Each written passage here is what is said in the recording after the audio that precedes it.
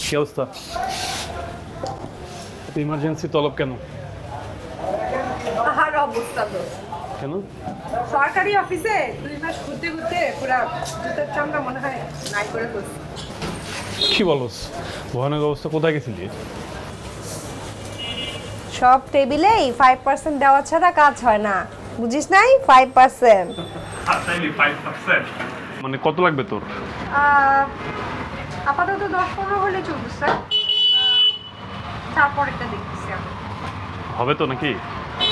হয়ে যাবে কথা ওকে তাহলে আমি তোমার জন্য একটা টাকা নিয়ে আসি এটা তোমাকে আমি দিচ্ছি।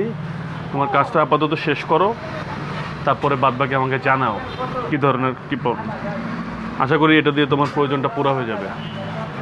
ঠিক আছে